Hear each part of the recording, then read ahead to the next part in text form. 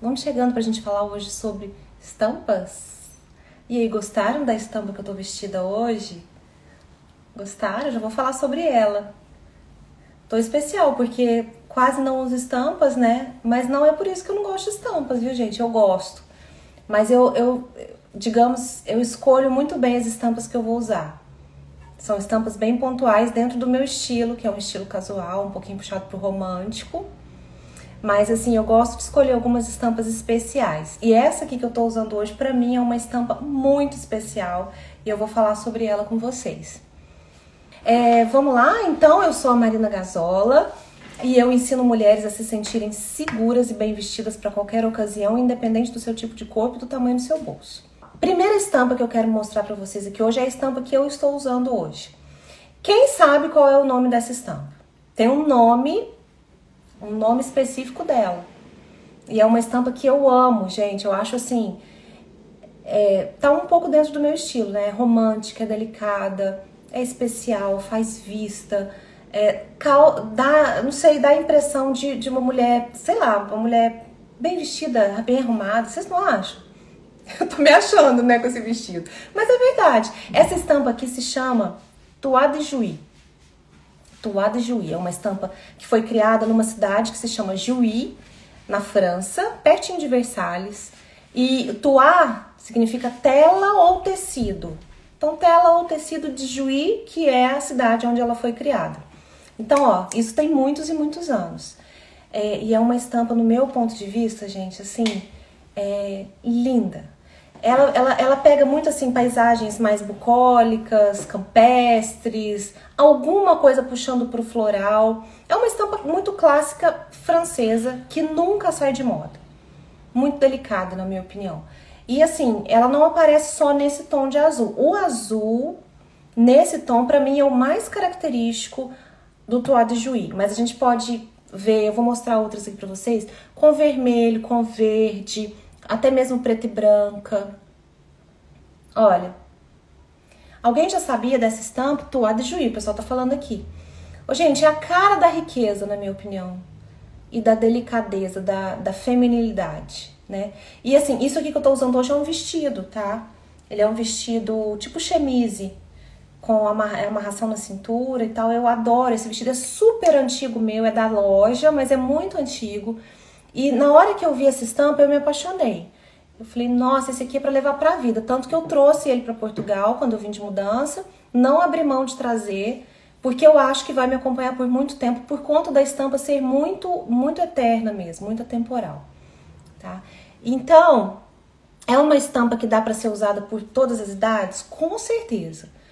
Mais jovens, pessoal da minha faixa etária, 40 e poucos, pessoal mais maduro, até seus 80 anos, com certeza ou mais, pode usar sem medo toalha de juí, que é realmente muito, muito, nossa, muito clássica, tá? Então eu vou mostrar algumas, algumas inspirações aqui pra vocês. Olha lá, ó.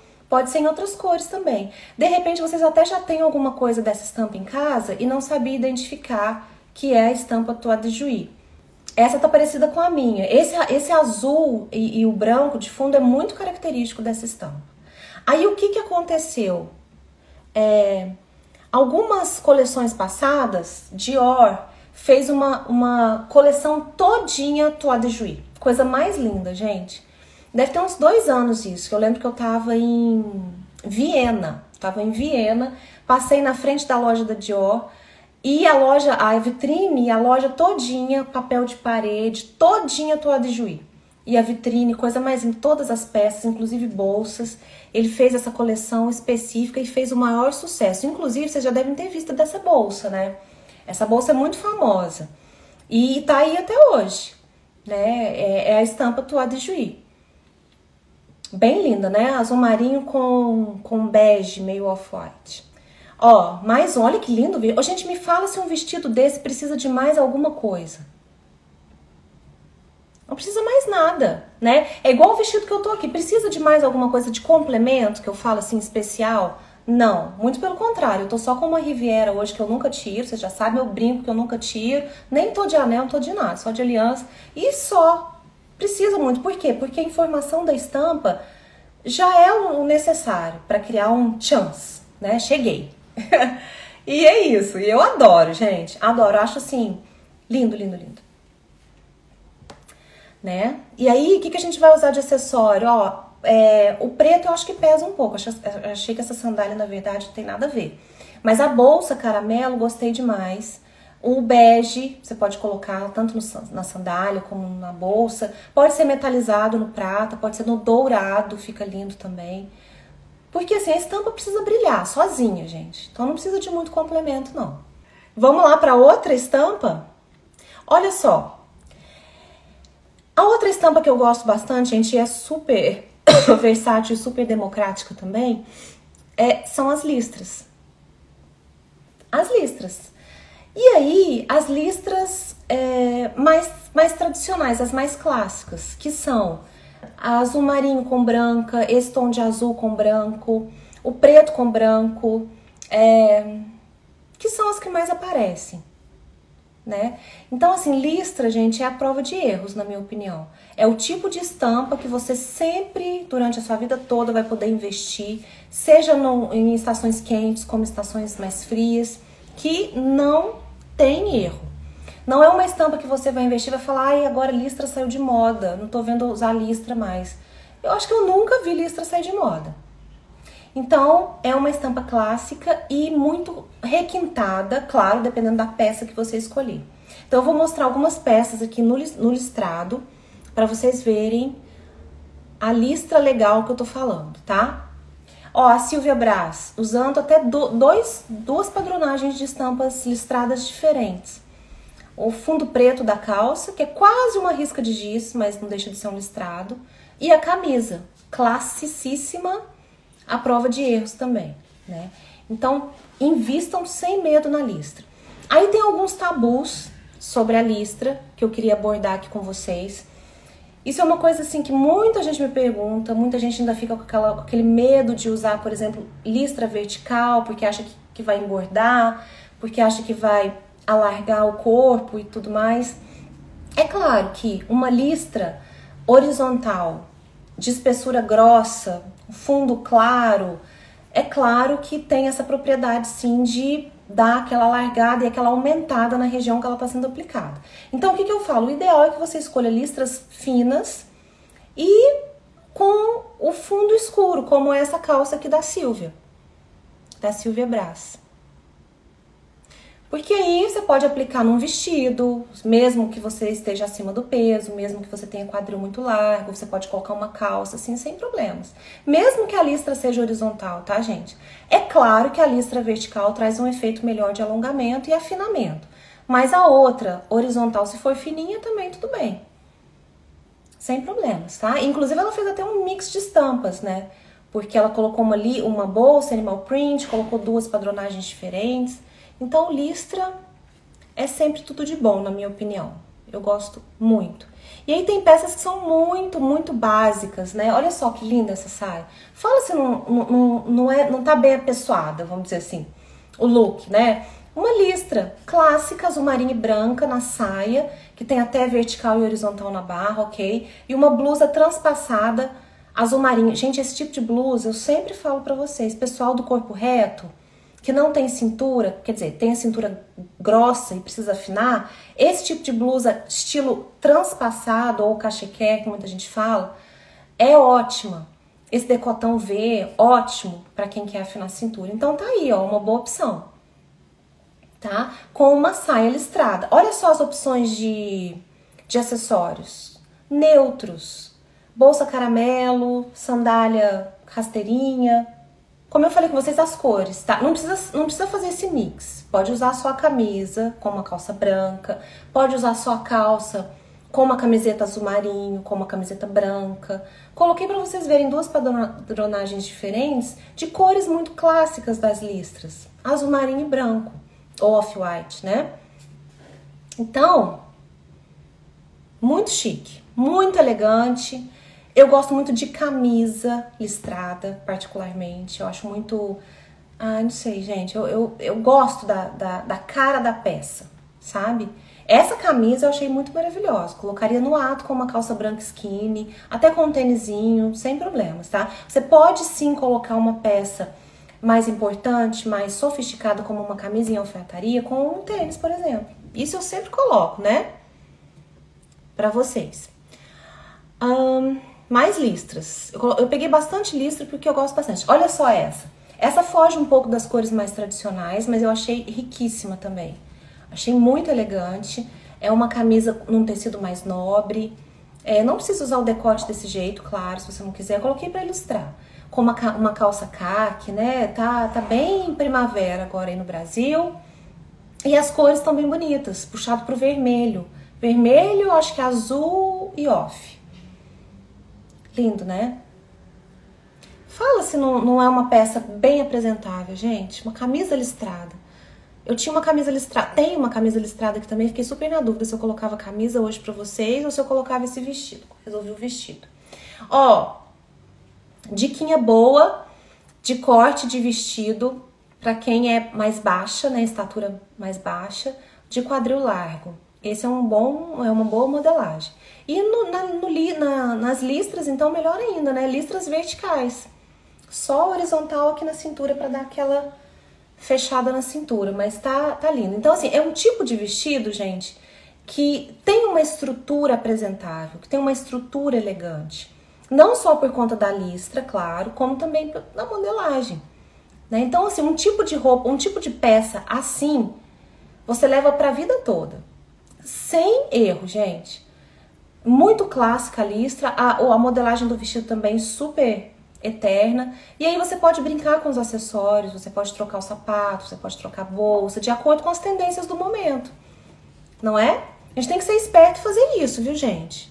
É aquilo que eu falo, invista em peças atemporais e aí, é, conforme vem e, e saem as estações e as tendências, você vai colocando aquilo que, que pode deixar o look mais moderno, sem necessariamente mexer na peça base, que é o vestido que é tão, tão eterno assim, né? Lembram de um, eu, eu sempre falo assim, gente, dá print quando eu acho que uma peça tem uma modelagem legal para você de repente levar na costureira para fazer, né? Olha que lindo esse vestido, é um vestido clássico também, de uma modelagem super bacana nas listras, com fundo escuro. Então, se você de repente está acima do peso e quer usar listra, vamos focar então na, na, listra vertical de preferência e mais fininha, desse jeito que eu estou mostrando aqui, e melhor ainda, com fundo escuro. Por que, que eu falo fundo escuro? Aí no caso preto. Porque, gente, é aquela coisa básica. As, as, as cores mais profundas, mais escuras, preto, azul marinho, verde militar mais escuro, cinza, são cores que fecham mais, diminuem a região e, e causam menos efeito visual de, de, de grandiosidade, vamos dizer assim. Então, uma boa para investir também, tá? Vamos lá, mais listras para vocês. Esse eu amei. Esse tá a cara da riqueza também, não tá, gente? Esse tipo de vestido é um vestido que vai vestir bem para todos os tipos de corpos. Por que disso? Por conta do transpasse frontal e essa. Estão vendo que ele amarra aqui na lateral? Isso é ótimo para o afinamento de cintura, junto com o decote V, melhor ainda. Um comprimento legal, né, na altura um pouquinho para cima do joelho. As listras verticais, que são legais também, meia manga, para quem não gosta de deixar o braço de fora, né, acha que o braço está um pouco flácido, tá gordinho. Enfim, é um tipo de vestido ótimo para todo mundo, viu? E assim, preto, preto e off, né, gente? Preto e off-white. Acho que não tem erro. Não tem erro. Muito lindo, né? Vamos ver o que mais aqui que eu tenho de listras. Ah, eu coloquei pra vocês, ó. Assim. Aí, tá vendo que cai na mesma modelagem do vestido? Se vocês, porventura, pessoal do, do corpo oval, pessoal do corpo reto, que não tem cintura definida, é, estão aí nas, nas, suas andanças nos shoppings, nas lojas, à procura de uma modelagem legal e se depararem com esse tipo de blusa ou mesmo vestido com essa modelagem, gente, invistam sem medo. Sem medo. Esse transpasse é tudo de bom. Vocês vão achar com o nome de envelope, vestido ou blusa envelope, transpassado, é, cachequer, é a mesma coisa. E esse amarradinho na lateral aqui é ótimo também. E aí a listra diagonal, né? Que também funciona muito bem para afinamento, viu, gente? Muito bem. Aí eu coloquei uma camiseta aqui também, claro, não poderia faltar. Tudo bem que tá com a jaqueta por cima, mas, mas eu acho que dá pra, pra todo mundo pegar o espírito da, da, da, da camiseta listrada, que é um clássico também, né? E, e assim, gente, de, de uma certa forma, sofisticada naturalmente, no ato, sem fazer muito esforço. Colocou uma calça branca, colocou um casaco por cima, uma parca, é, uma jaquetinha do jeito que ela colocou, né? Então, tem erro não. Camiseta listrada. De preferência no azul marinho e branco, né? Pra ficar ainda mais no, no, estilo navy. Vocês viram que eu tava no estilo navy esse fim de semana? Ah, vou até mostrar aqui a foto. Eu fui sair para almoçar no domingo, lá na Marina de, de Cascais aqui, que é maravilhosa lá. Eu tava, não sei se dá pra ver aí, mas eu tava com uma camiseta listrada, ó. É azul marinho branca, casaco azul marinho, calça jeans e tênis, ó. Tava lá de navy. Bom, então listras, ok. Certo? Então já falamos do Toit de Juí, que é essa aqui que eu tô usando, esse vestido. Vamos pro poá, gente. Poá não pode faltar, de forma alguma. E assim, o poá também é outro clássico. Muita gente associa o poá ao, assim, a um look mais, hum, como é que eu vou dizer? Antiguinho, meio vintage, é, alguma coisa nesse sentido. Eu, particularmente, gente, sou fã de poá, adoro, acho, acho chiquérrimo. E tem alguns poás que eu gosto mais, alguns poás que eu gosto menos. Então, vou mostrar os que eu gosto mais, que eu considero assim mais chiquezinhos, mais sofisticados, tá? Por incrível que pareça, eu gosto mais do poá menor.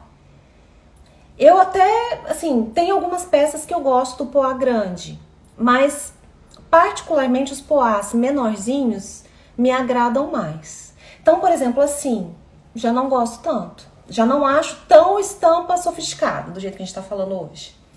Não acho, tá? Aí você vai falar, ai Marina, acabei de comprar um vestido com uma estampa super parecida, a grandão, e eu amei, ficou tão lindo pra mim. Ótimo, gente. Tudo depende também da modelagem da peça, depende do formato da peça, depende da cor, depende da de como ficou no seu corpo, depende de tudo isso, tá? Então a gente não, não, é uma regra. Mas particularmente eu gosto do pozinho menor. Tipo assim, ó. Quer ver? Vou mostrar outras. Olha esse, gente. Fala se não é chique. Não é muito parisiense? Eu acho muito parisiense. É lindo demais. É chique, é eterno. Aí você vai falar, ah, não, parece roupa da minha avó. Minha avó usava assim. Sim, pode até ser. Mas que é chique é, na minha opinião. Aí, outra dica básica para quem tá afim de investir no poá e tá acima do peso, por exemplo vamos focar nos poás menores. Menor, melhor assim do que esse outro que eu mostrei aqui, ó. Vocês não acham? Né? Por quê? Porque quando a estampa é grande, é, ela tende a chamar mais a atenção. Então, se você tá afim de minimizar, sei lá, o seu quadril, a sua barriga, o seio que é muito volumoso, não pode colocar o poá grandão nessas regiões. Tem que colocar o poá pequeno para chamar menos atenção, ficar mais delicado e menor visualmente para quem tá te olhando, entenderam? Outra coisa, es escolha o fundo escuro ao invés do fundo claro, que também chama menos atenção. OK? Adorei a modelagem desse vestido também. Achei lindo, lindo, lindo, lindo. Tem mais poás para vocês, ó. Ó, eu gosto mais desses do que desse, ó. Esse aqui eu já não gosto tanto. Não sei porque me lembra alguma coisa de, de Mickey, de Minnie, não sei. Não gosto muito, tá? O, a modelagem do vestido até é legal, mas eu não considero uma estampa tão rica, entre aspas, tá? Tão sofisticada, tão elegante. Acho que por conta da cor também. Eu gosto muito do poá puxando pro preto, ou pro branco, ou pro marinho, ou pro caramelo e off-white, que eu acho que é lindíssimo. O verde militar com poá bem pequenininho eu também gosto bastante. Mas esse, esse tom, particularmente esse, esse tamanho, acho que a combinação do tamanho do poá com a cor é que não me agradou muito. Né? Então vamos focar nos poás mais delicados. Olha isso, gente, coisa mais linda. É um azul petróleo, né? Um verde garrafa, talvez. com poá pequenininho. Olha a modelagem do vestido, coisa mais linda. Olha a sandália, gente. Fala sério. No, quase no tom da pele dela. É uma sandália que alonga. É, né? E assim, fica neutra no look, não interfere na padronagem da, do, da estampa do vestido. Maravilhoso. Maravilhoso. Poás são eternos também. Ó, mais um que eu adoro. Esse tá parecido com o primeiro, né? Fundo escuro, poá de tamanho médio, no, no, branco. O vestido tá lindo também. Os acessórios que ela escolheu são acessórios bem, bem neutros, tanto a sandália como a bolsa. Ai, gente, chiquérrima. Chiquérrima no ato. Assim também eu gosto, ó. Estão vendo? Esse poá, olha, olha a diferença daquele outro que eu mostrei. É um poá grande, mas não é tão grande quanto aquele. E a modelagem da peça é tudo, né, gente? Olha esse vestido como caiu bem no corpo dela. E assim, a sandália, né, os acessórios que ela colocou. Então, assim, tudo cria um, um visual final bem bonito. Olha a comparação, vou colocar de novo pra vocês. É quase do mesmo tamanho, mas olha. Talvez a, a, a modelagem da, é uma, uma blusa cropped, né, de, com uma saia que já tem um pouco de volume também, não caiu tão bem. Por isso é que é importante, o mais importante de tudo, na verdade, não é só a escolha da estampa. Precisa aliar a estampa que você goste e que fique bem dentro disso que eu tô falando aqui, com a modelagem da peça de acordo com o seu biotipo físico. É aquilo que eu coloquei nos stories para vocês no fim de semana e, e repito, bato sempre em cima dessa tecla.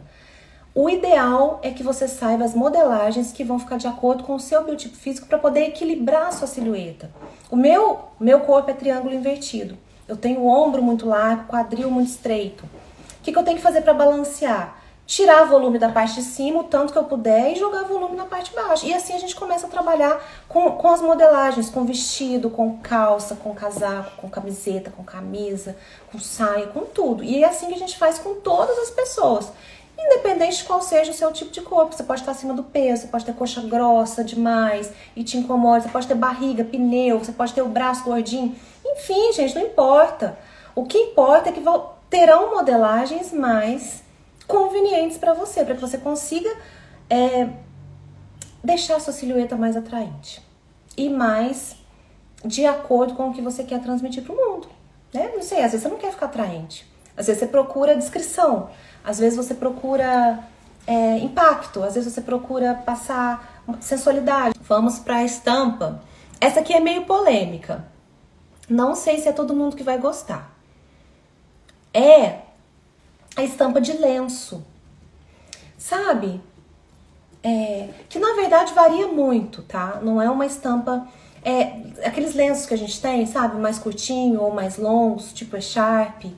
É, eu gosto bastante também das peças de roupa com essas padronagens tipo lenço. Então, por exemplo, essa blusa da Camila Coelho maravilhosa. É uma, uma estampa, gente, que cria um um chance imediato, né? Olha só, assim. É tudo estampa de lenço. Assim, ó, essa daqui é mais característica ainda. Acho que vocês vão identificar de uma maneira mais, mais fácil, tá vendo? Uma coisa meio versátil, assim, sabe?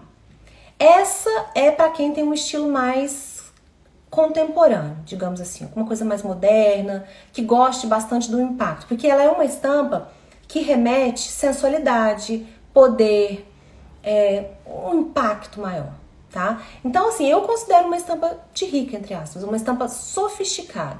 Não faz parte do meu estilo, já vou falar aqui pra vocês. Acho bonito, acho lindo quando eu vejo um look bem estruturado com esse tipo de estampa, mas pro meu gosto não cabe, não, não faz parte do meu estilo.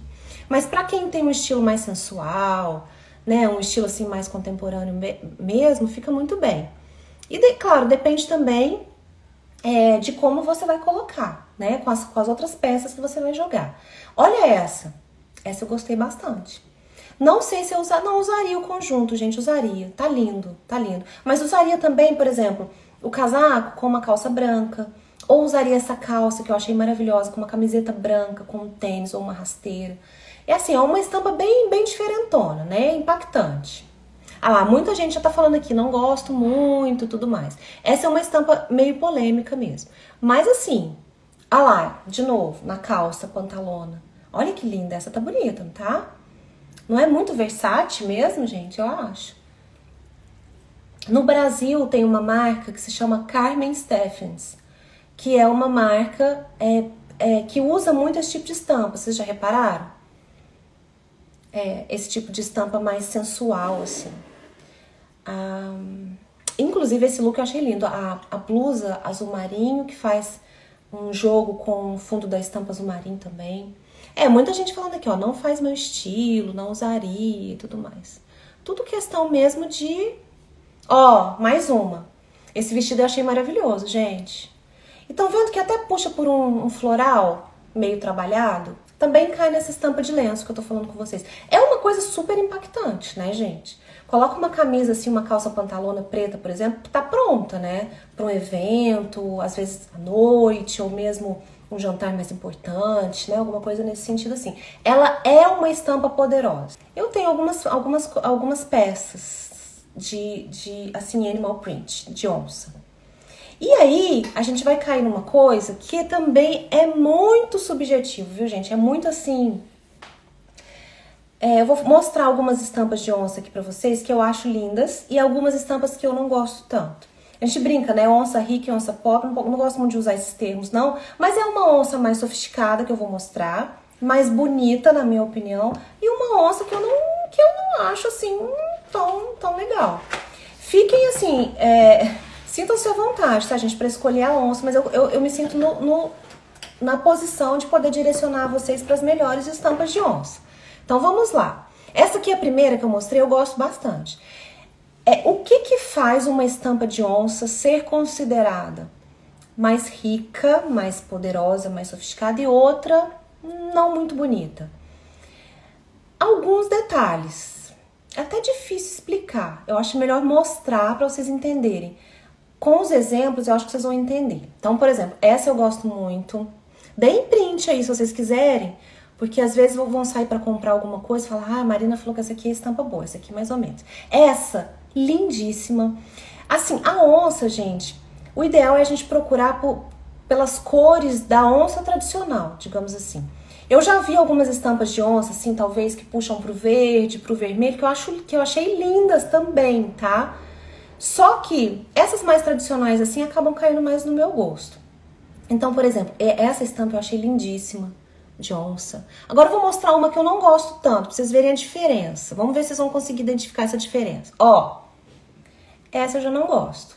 Essa pra mim é uma estampa de, de onça meio feinha. Gostei não. Sei lá por quê, eu acho que tem um fundo rosa claro que eu achei que não combinou. E assim, a, a padronagem também, as manchas da onça não estão muito bonitas, na minha opinião, tá? Não gosto, não gostei. Vamos ver outra que eu não gosto muito? Quer ver, ó? Essa. Não gosto muito, gente. Não, não sei porquê, eu não gosto. As outras que eu mostrei eu gosto mais, me identifico mais, acho mais sofisticadas acho mais interessantes, acho mais sensuais, acho mais finas. Acho que essa é a palavra. O pessoal tá falando aqui, a Cristina falou fajuta. é isso mesmo. Essa aí tá meio fajuta. Gostei, gostei da, do termo. Ó, uma que eu gosto. Essa eu gosto. Olha como tá simpática essa, gente. Não é? E ela jogou com, achei bem interessante que ela jogou com uma sandália vermelha. Fica legal o animal print, assim, a onça com vermelho, acessórios no vermelho, viu, gente? Fica legal. E a bolsa é preta. A bolsa tá comprida, na minha opinião. Vocês já sabiam que eu ia falar isso, né? Tá com a alça comprida, gente. Vamos embora encurtar essa alça. Até porque ela não é muito alta, né? Fica meio desproporcional a alça comprida assim demais pra ela. Ó, essa também já não gosto muito, não. Essa tá no meio termo. Se eu pudesse escolher as outras, primeiro eu escolheria, essa ficaria mais pro final. Tá? É um modelo de vestido legal, é, mas não é tá uma onça muito, muito rica, não. Olha esse, que lindo! Adorei essa onça. Estão vendo? Vocês estão conseguindo perceber as diferenças?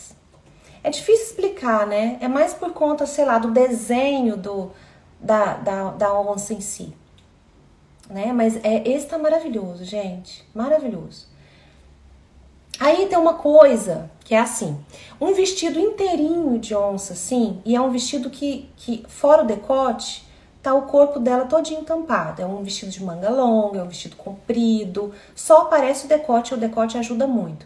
Para quem é mais baixa, para quem tá um pouco acima do peso de repente, vamos procurar, se você tiver afim de usar onça, vamos procurar vestidos mais leves, talvez de alcinha, talvez de manga curta, com um decote mais acentuado.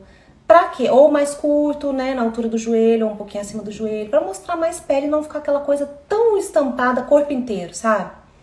E isso às vezes dificulta, porque como tampa muito, causa a impressão de de estar tá maior o corpo todo, sabe? Então, de repente, de uma forma geral, assim, se você tiver, igual eu falei, acima do peso, pode ser que não caia tão bem para você.